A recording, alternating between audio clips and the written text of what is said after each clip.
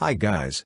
Today we are explaining the end of Platinum End and so far we got two explanation for it. Number 1. Shuji argues for suicide throughout the series. He sees it as an option for all people.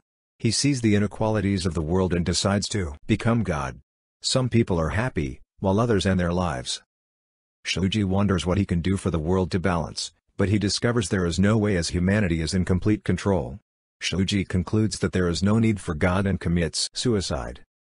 The death of God is followed by the extermination of all life, beginning with the angels and ending with all humanity on earth.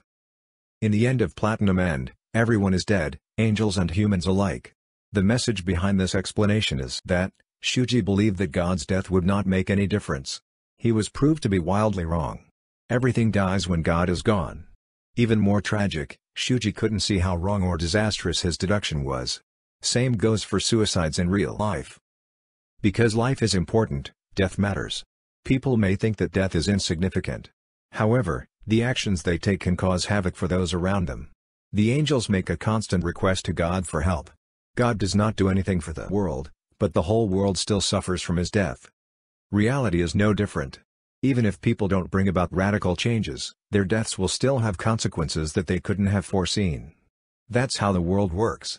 Explanation 2 As the remaining God candidates return to live their normal lives on Earth, Shuji watches all of humanity from heaven, but thinks to himself that God no longer needs to do anything.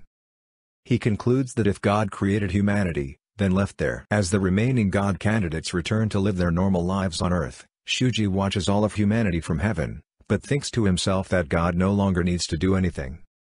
He concludes that if God created humanity, then left there well that is even though he is now God, he still wants death and therefore, will always die the same as anyone on earth.